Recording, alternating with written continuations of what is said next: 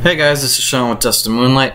Today I'm going to be releasing my first video about the band Swans reviewing their new album, The Beggar, which just came out yesterday on the 23rd. Um, this band I recently got into, and I have heard all of their albums, almost all of them, for the first time in the last month or so. This band, at first, I didn't really get. The first time I heard them was about a year ago with Soundtracks for the Blind, and it was a very overwhelming work, at least to say, in terms of its scale, in terms of the amount of songs there were, in terms of the, the content on the record. It's a lot to take in on first listening, and especially when you've never listened to Swans before. This band, I recently decided to go through all their albums to see how I would develop in terms of how I feel about this band, and listening to all the records helped me get an appreciation for the band, I would say. I definitely learned where they were coming from on Soundtracks for the Blind, how their style developed and changed into what they are to this day. The Beggar is basically an extension of their present sound that they've been maintaining since around 2010 or 2012, and it or even arguably since Soundtracks of the Blind, which was, I would argue, their first post rock album. In terms of what these records sound like, post rock is this big, momentous, monumental, I should say, kind of sound that is all about engulfing you within its sound. It's about timbre, the tones. It's not really about much about melody or really distinctive like hooks or anything. It's more about creating almost like a soundtrack, so to speak, for a movie. That's the best way I would like to describe it. But the Swans, they've been developing this sound, and on their record, The Beggar, I feel with this release, they've definitely created something that is more interesting than, than anything they've done since To Be Kind, which is their best album personally, 2014. I'm going to be going through all tracks and I'll just be telling you what I think of each track. The Parasite is the first track on the album, The Beggar, and it has a very interesting drony mood for me the very first two minutes. It's nothing it's nothing super weird or out of place for Swans at this point. A lot of their music is repetitive, drony, um, post rock kind of sound nowadays. It's also got in terms of this record as a whole, has the gothic country sound you would expect from Angels of Light, this other band project that Michael Gira, the singer of Swans, did. And I find the timbre that plays every few seconds in this part of the song very interesting. It's kind of like this weird mystical synth. I'm going to be using the word mystical a lot in terms of this review, but the guitar is pretty. It's playing some interesting notes. The mood is very weak sounding, not like in terms of quality, but it's like kind of lethargic, almost lazy. Not necessarily, but if you've ever listened to Swans before, they're a very repetitive band. But this isn't necessarily a bad thing for me. At 3:30, where it's just a cappella, I find it's a very interesting transition. I think Michael Gira's vocals are really rough and interesting enough to get the vibe they're going for across, and they sound really good just by themselves. The background vocals and overall atmosphere that comes in after this part is gorgeous, personally. It gives me some heavy Genesis vibes, actually, from their uh, rock opera album, The Lamb Lies Down on Broadway.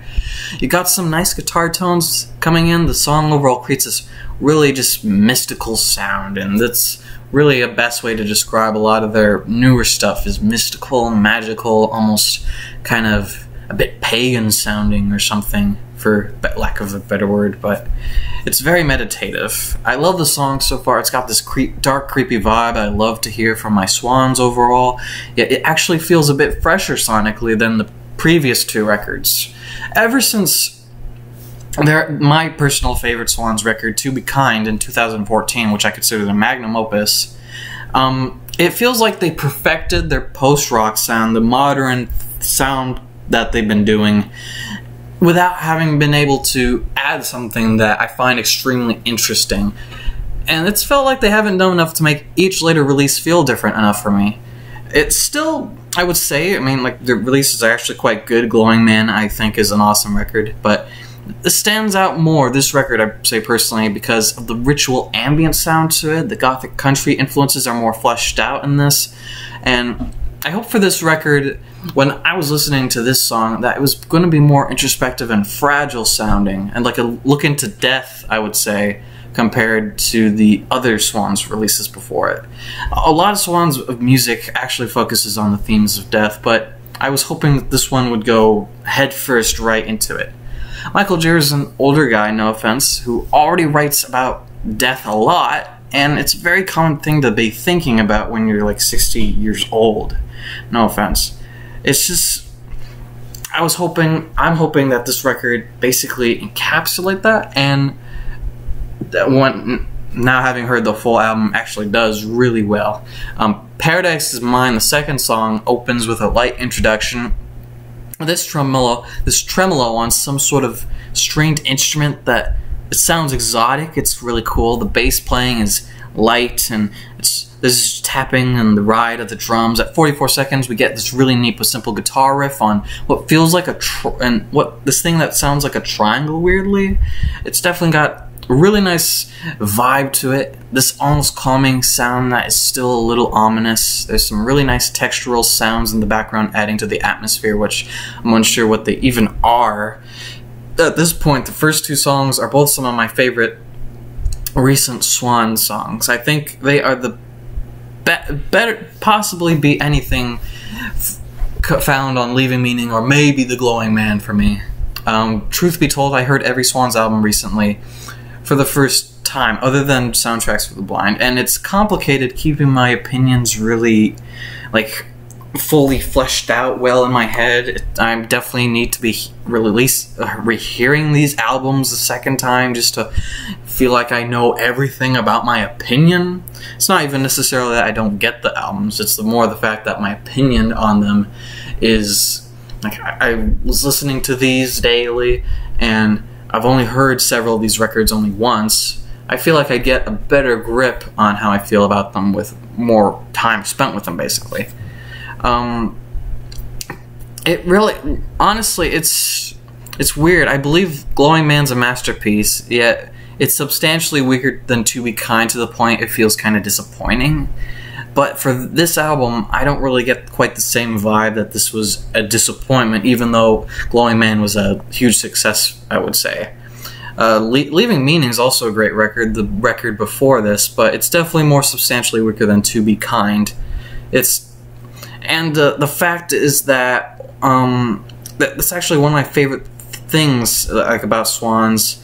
If you want to be picky, is the fact that like the post rock sound was perfected on that record. But here it, feels like they're changing enough to the point that I feel content with that, I would say. I do wish they would change more like they used to in the past. The, with each record before Soundtracks for the Blind in 1997 or 6, I forget, they were changing their sound basically every other record or every two records. Like you got the kind of sound that you got from Ch- Children of God with its gothic and kind of post-punky, got like uh, industrial sounding to Burning World to White Light, which is a lot more folky and still gothic sounding.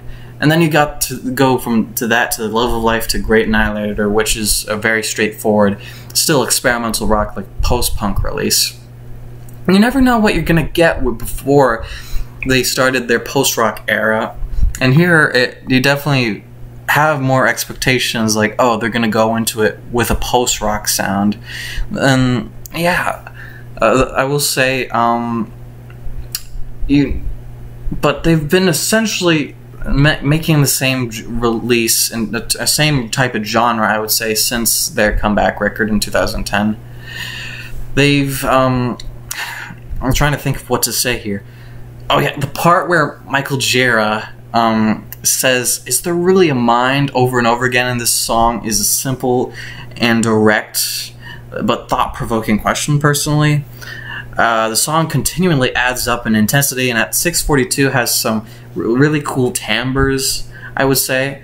The ending is really cool with the flute and ritual ambient feel again. Overall, it's got this new balance between new and old, and that, that's one of the things I love most about this record so far.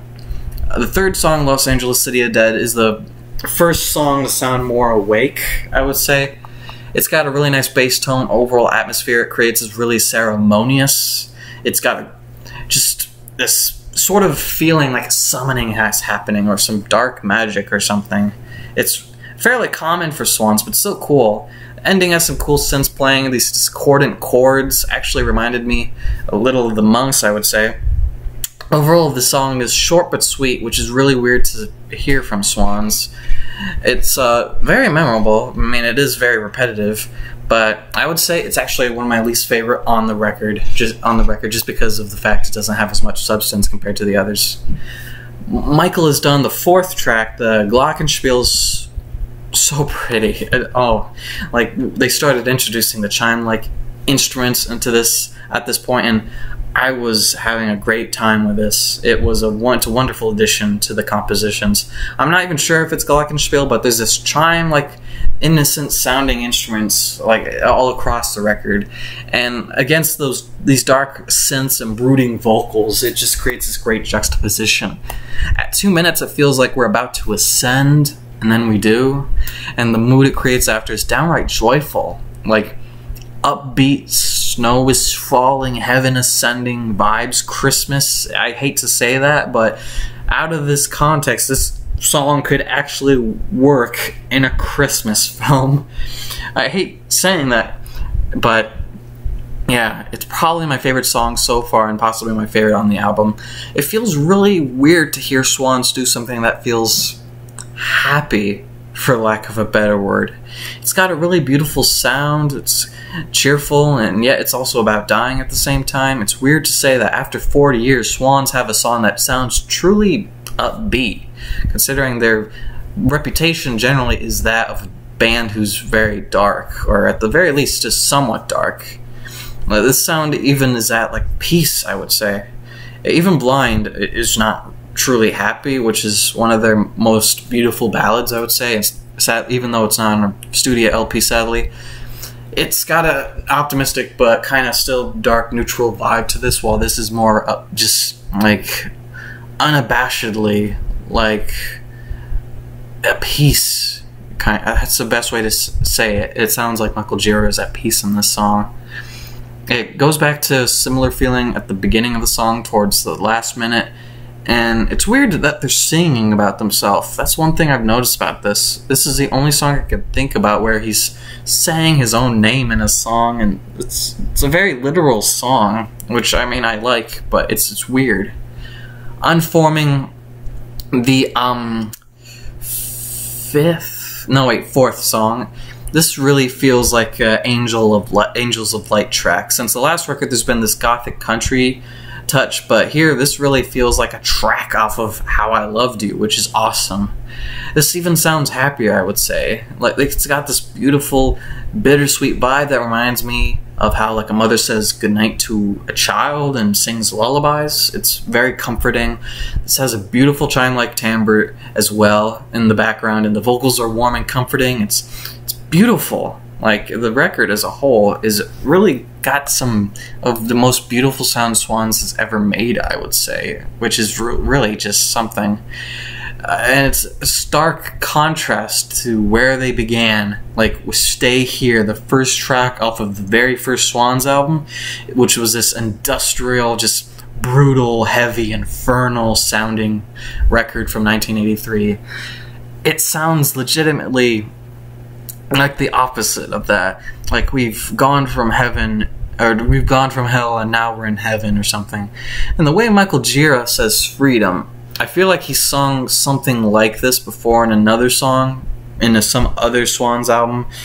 But here it really, like I remember the other time being more ironic, while here it feels like he's legitimately finding some sort of freedom. I that's how I'm interpreting this personally. Uh, the guitar at the end is gorgeously recorded, like the production on this, holy, like along with the instrument that's doing the tremolo, which I I think is a guitar as well.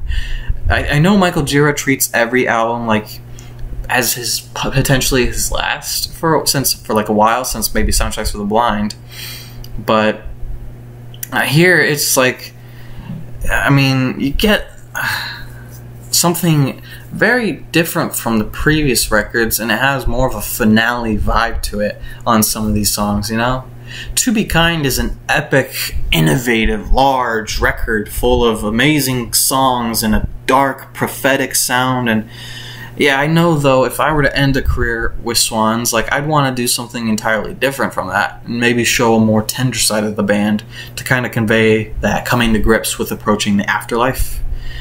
Um, the fifth song, The Beggar, this title track opens pretty similar to previous songs here. It's also dark and eerie in the beginning with little build up drone, but the song is increasing just barely in tension for a few minutes. It's very easy for me to get into this stuff though because I've grown attached to this kind of sound and swans in general. I kind of lose myself in the sonic palette that Swans creates. Sorry, I was yawning. The, the snare sounds amazing at four minutes. Like it comes in with this great drum beat that's really basic, but has this massive feeling. Boom, bam, boom, bam. It's just towards the end of it, you hear the some sort of build up once more, and this is a badass song. Honestly, during these parts, it feels like there's an inner tension just waiting to break free during what I would say is kind of the verses, and then when it does go on that like snare, kick snare part, it's just damn keeps me on the edge despite taking its time with these quiet verses. At 805, there's this vocal part. Honestly, makes me laugh. One thing about Swans, you kind of have to laugh sometimes at how un, like unabashedly weird some of their vocals can be. Like, uh, how can you take some of the things Michael Gira sings seriously? I, feel like it is almost tongue in cheek. Like they're trying to be a little funny, which is how silly they can be but at the same time, you still take it seriously, which is impressive to say the least. song returns to the basic drum beat, the hi hat or ride I can barely hear. I will say I noticed during the second chorus part, kinda. And the part is great personally. It feels like an awesome part to a movie where a betrayal hap- is happening or some equally dramatic event. Overall, just great song. And track six no more of this. Um, my God, this really is an Angel of Angels of Light song. It's so gothic country sounding. Like it's probably the most gothic country sounding song Swans has ever done. And so calming. You could swear it was from the other Michael Gira project. And for those unaware, Michael Gira is the singer of Swans and Angels of Light. Uh, overall, though, I don't think it matters that much if something sounds like Swans or Angels of Light just because all of it is still headed by the same creative talent, you know, Michael Gira. You could literally be cradled like a baby while this song plays, and it would feel like a close encounter with heaven. I'm not even really listening to the lyrics of this, but it feels like Michael Gira is almost saying no more with this life. Like this record in general feels obsessed with death, even more so than typical Swans records, and it's not in your usual Tim Burton or like a really bloody, gory kind of way. He's obsessed more with the the grandiose, like the unknown factors of death, and uh, yeah, it creates this just epic, big vibe with this record and other albums. I would say the vocals leave, and we get some, you know further build up. The spoken word part is really cool. The timbres and sonic qualities here are just beautiful, almost enough to make me cry. This is the only song I wouldn't mind being actually longer, which I haven't said that about Swans like ever, I think, but yeah, just because my head, you could actually build this up more to even like more ridiculous degrees if you wanted. You could make it louder and more dynamic towards the end, but I don't really mind the way it ends. It's still a beautiful song and excellent in terms of its own right, you know? Uh, Ebbing, track 7. I've lost count at this point. I'm gonna go with 7 though. At this point of the album, I love how different this record is, honestly. It feels more refreshing than Glowing Man and Leaving Meaning. And if the next several songs were awesome, like at this point, it's basically just a masterpiece in the bag for me. But yeah, I would say, oh, it was track eight. Okay, I was on track eight. Okay then. Um, yeah, I would say that if this were this record does beat Glowing Man for me, which is kind of amazing. Which means this record is my fourth favorite Swans album ever, only behind Soundtracks, The Seer, and To Be Kind. And I even considered saying it'd be better than The Seer, but I really feel like I need to hear it again. Ebbing is another absolutely solid song for me. The synths in the background are really nice, and uh, playing what feels like slow arpeggios to me. There's a certain quality to them that weirdly reminded me of bagpipes just a little in terms of timbre.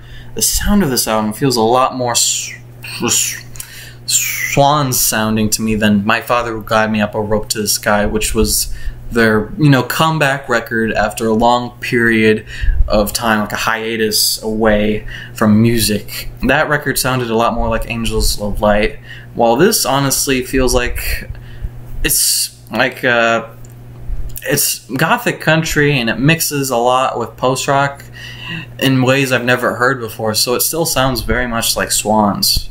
Uh, also, I would say that the Seer personally is Swan's uh, true comeback in a way. If that record feels like the one where it sounds like okay, the sound of Swans we're familiar with is back.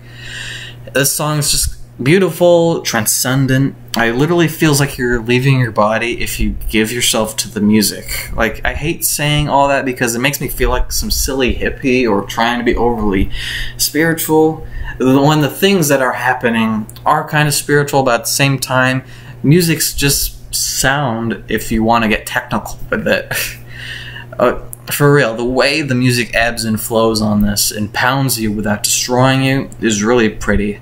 There's a lot of stuff to appreciate about the compositions and the ambition in general of Swans in this record. The part at 613 has this beautiful combination of a wonderful bass line, choir vocals, bells, and some neat drum playing that is constantly doing something different that I really appreciate. In general, these songs have like several parts that you could listen to and like switch your attention between and yeah, there's just a lot going. Um, track nine. Track nine. Why can't I have what I want anytime that I want? Uh, the opening is more ominous than the last several tracks. The sound honestly reminds me of the creepier musical moments of 2001 A Space Odyssey. There's some neat orchestral instruments creating this texture in the background. The bass line does this hammer on pull off thing that kind of reminds me of their biggest hit, Screenshot. It's being used very differently right now in a different context, but it still got a similar vibe. At 2.30, the addition, the addition of more vocal parts was awesome. This part in general is haunting. Like, um, it's a, like a dirge or requiem. It gives off this funeral march sounds, like a funeral doom metal or something, or just a literal funeral. The drums are also playing this, this slow tempo, and it feels like that. And the, there's timpani, I believe, which is awesome. I whatever what that really big drum sound is, it sounds amazing. Guitar part gets layered here and sounds great. It, it starts playing what the bass was playing, while the bass joins in unison with the drums, which create this massive layer just to, overall. It's a big full sound. 530 sees yet another expansion to the sound palette. It gets bigger and more anxious sounding, and the acapella part here is awesome. And you get these background vocals coming in, all hum- ominously singing with this aggressive guitar part. This is another highlight, honestly, for me. It really feels like a great funeral march of a song. And I love how this record looks at death in so many different ways. Like it comes to it with uh, different views, like from the, the funeral, from being introspective to the fear of it. Um, you got the positive and negative sides of the of death and how humanity feels about it in general through Michael Gira's feelings about it. Um, if this isn't Swan's last record, I will honestly be surprised if they could beat this. This really feels like a last album or like second to last album to me. Like I I doubt you could find much of a better ending than what they've picked with this. I really suspect they won't be able to beat it if they make another record. Swans are an old band, and they've been post rock for more than a decade now. There really isn't. Okay, you can do a lot with post rock, but if you are to do a lot with post rock, you have to make it sound very different. And yeah, there really just isn't a lot more you can do, I think, with the sound they've been doing. Uh, this record in general is a great expansion to it and does different things with the post rock angle they've been, the, the genre they're using. But I'm st- still, this feels like a refinement of like a gothic country post rock sort of sound, and I don't think they could do that much better. So they'd really have to do something different. This track is 43 minutes long. The Beggar Lover 3, in parentheses 3. Well, this song is easily the longest swan song I have ever seen in my life, and I was a little intimidated.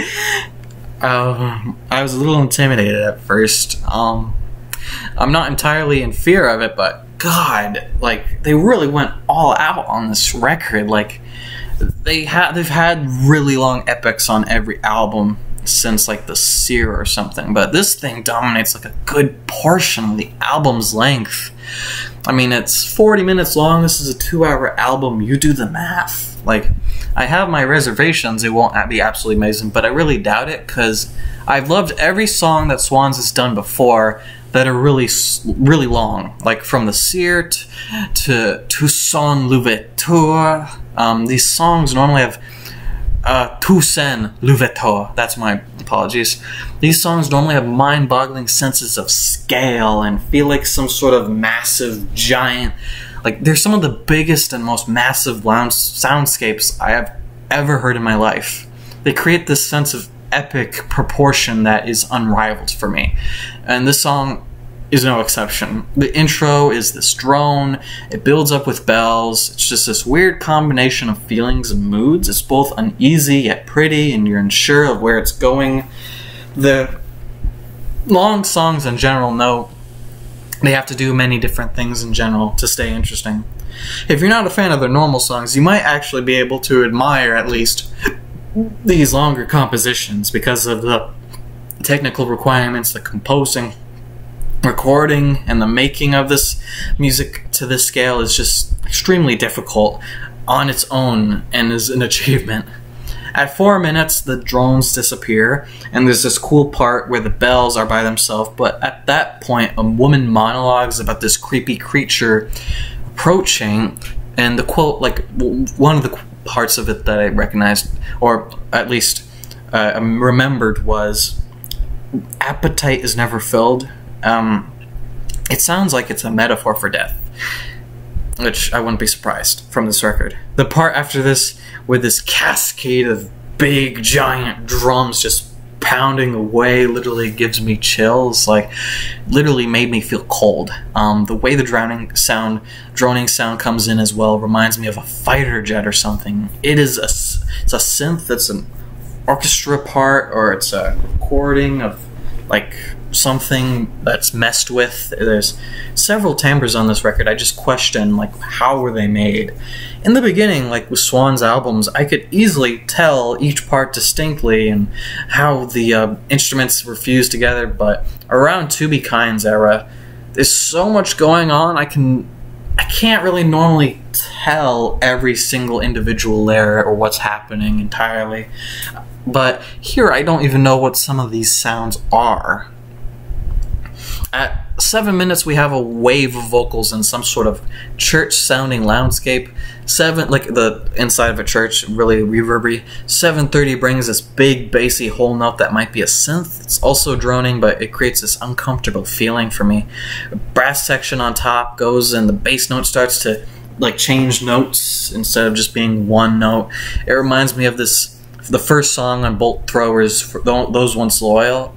It's just like this feeling of there's this impending storm or this this this horror that is intense. I get real cheer- chills from this. Honestly, it's some kind of grand massive death. Basically, it really creates this feeling of doom and massive scale. The vocals are so strange sounding. I can't tell if there's throat singing or just some weird production going on, but the low notes in general are enough to honestly shake a building. In general, this song's keeping you surprised with its various moods and tones and the strangeness of it.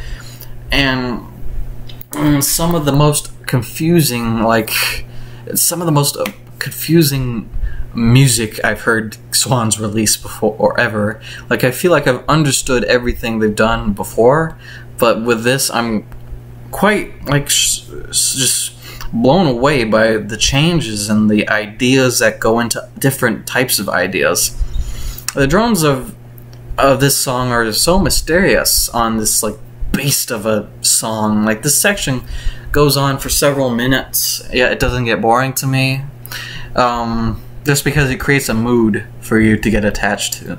It creates a really foreboding atmosphere and does so creatively. 756 drums come in and they're some sort of like they're also kind of like that big sounding kick snare. It's like really tasty sounding. This is actually better, I would say. The snare is possibly the most massive snare I've ever heard in a song before. The bass comes in and it plays this fucking badass post punky riff, and my god, this is just an awesome part of the song. Really badass.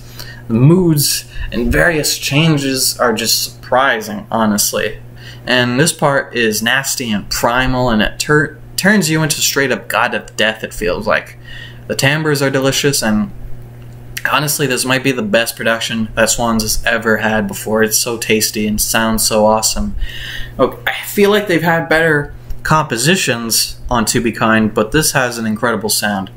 And 21 minutes is just vocals, it's jaw dropping, really unnerving and strange. That's what you expect from Swans. One of the most uncompromising experimental weirdest groups out there personally. When more vocals come in, the female vocals layer on top and create like this suddenly like a heavenly sound in this song. It's not your typical heaven though. It's more like this unfathomable kind of like uh, uh just weird Cthulhu just experience. Um, 24 minutes. Uh, there's these horror sounding strings or something uh, the vocals edit, exit, and we're left with I don't even know what these. I don't know if these are strings. They sound like something's. They sound like uh, the like the strings you get from the horror parts of The Shining, but it's like they've done something weird to it, like maybe electronically messed with it. I know for a fact any normal music person who only listens to mainstream stuff would be like, "What the fuck is this?" at this part, or straight up feel uncomfortable with these types of tones. I just don't know what to think. Now it sounds like Michael Gira has become an alien and is burping, and there's this weird call and response. There's a knocking on the door. A weird baby and alien share the call and response, like the baby making sounds and the alien making sounds, and it gets the knocking gets more intense. And the song exits, exits this part and goes into a synth drone with a different kind of experience. Um, you can't listen to this with a typical ear for music for real. You have to listen to it not like it's a song or even a composition. It's just part sound collage, part just pure emotion, part composition, and I get the ideas it's going for, like every song about life and death. Um, and also, I feel like the sounds of the baby actually kind of remind me of "To Be Kind" because the album cover there's a baby, and they use a lot of just baby imagery and like youthful imagery in general, which I think is a metaphor for life or something. This is one of the most ambitious that songs Swans has ever done, honestly. Possibly the most ambitious. It feels insane, it's disjointed, kind of, and alien, but that's kind of what I love about it. It's bold and out there and very emotive, and I love it personally. Like, it's possibly the best track on the album. Though I will certainly need to re listen to this record to make sure that I can get a better understanding of how I feel towards the music. I do I do know for a fact I love this though. The part at 34 minutes is a bit more normal. The is repeating guitar riff with a beautiful tone against some cool drums playing in a regular time signature. A lot more normal than what was happening before. Bass also has a cool riff. It's cool timbres in the background that swell and stuff. 39 minutes has this nice bell-like instrument, and overall I really like the innocent chimes on this part and there's just always like this nice juxtaposition against darker sounds. At this point, the song it feels like has beaten me to death. into submission to liking it, but just by the size of how impressive the ambition and scale is. It's clearly something genuine, 100% and amazing. But yeah, after this song, I felt so tired, like I had to take a nap or something. But I have one more song for this album. Uh, the last track, The Memorious. This song instantly starts hitting you with a pounding rhythm, loud volume. There's some baby that cries in the background, I believe, at certain moments. The spoken word part is cool. It's an interesting way to end the record, to say the least. Though I actually feel like the ending would have been best on the longest song. Or one of the more ballady, heavenly sounding songs would be what I would do. I would have actually put this track earlier in the album just because it feels it's a bit more repetitive than I like for Swans, and it's um, one of the most awake sounding and energetic on the album. I, I just feel like it would have worked better at the earlier part of the album when uh, it started off quiet, then it was starting to get louder again. You could have put it maybe as the fourth track or something after the third. It would kind of flow better for me. Overall, though, it's still an excellent song. The only complaint I have here is the placement of it on the track listing. It doesn't quite feel like an ending to me. Towards the end, there's some nicely layered tones on top, though, that sound cool. This album is a behemoth like every Swans album since The Seer. It's two hours long. This is easily my fourth favorite of the career, and I really love the ending quality about it. Like it feels like it's an ending to something, probably the ending of Michael Gira or Swans or something. But I will be happy if they release more music in the future. I mean, I'd love to hear more Swans in general, but I just feel like with this band, there's I just can't imagine what else we would do, or if you could make something that's better than the beggar at this point. I definitely feel like they've peaked with The Seer and To Be Kind and soundtracks, and their best ideas are before them. This record, though, is still a very impressive testament to the legacy of Swans, and if it were their last album, I would be totally satisfied. It kind of has a similar vibe to something like uh, a Moon Shaped Pool by Radiohead, which I also feel like is another record that should be the ending to a band's discography, but I'm not sure if it will be. In general, excellent album. I highly recommend it. If you have never listened to Swans, I would definitely recommend starting with To Be Kind, or maybe just going through their discography if you have enough time. Like, uh, I feel like going through the discography of a band who you genuinely are interested in helps you to understand where they're coming from with listening to Swan's discography, I feel like I had an amazing, incredible journey of discovering the different aspects of a human being and seeing them evolve in real time. And yeah, there's something about music that can really capture a shadow of a person that really is one of my favorite aspects of it. You get to hear part of someone's soul in it, I would say. This is Sean with Just a Moonlight. Rock on.